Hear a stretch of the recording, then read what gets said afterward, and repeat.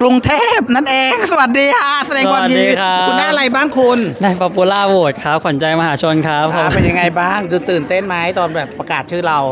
ก็ตื่นเต้นมาก ๆ เลยครับ เพราะว่าช่วงโค้งสุดท้ายก่อนที่จะประกาศ popular vote เนี่ย ผมก็เห็นว่าผมเนี่ยมาเป็นอันดับ 2 ตอนแรกก็คิดว่าเออคงจะไม่ได้แล้วอะไรเงี้ย แต่แบบอ่าก็ขอขอบคุณแฟน ๆทางบ้านทุก ๆ คนเลยครับ ครอบครัวเพื่อน ๆ พี่ ๆ น้อง ๆ ทุกคนที่ support ผม แล้วก็ส่งกำลังใจโหวตมาให้ผมล้นหลามมาก ๆ เลยผมดีใจมาก ๆ เลยที่ผมได้รางวัลนี้ แล้วก็ผมจะเอารางวัลเนี้ยเป็นการต่อยอดในการพัฒนาตัวเองให้ดียิ่ง ๆ ขึ้นไปในเวทีต่อๆไป แล้วก็ในการเอ่อสร้างอนาคตต่อๆไปครับผมอ่าขอบคุณเวที Landscape ก่อนที่จัดกิจกรรมดี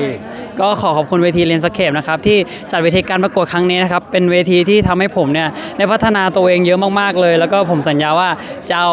ประสบการณ์จากครั้งนี้เนี่ยไปพัฒนาตัวเองต่อไปเพื่อให้ดีขึ้น แล้วก็เป็นตัวแทนบอกต่อสิ่งดีๆ กับประเทศไทยต่อไปครับ ขอแสดงความยินดีด้วยนะคะ ขอประสบความสำเร็จในชีวิตบ๊ายบายขอบคุณนะ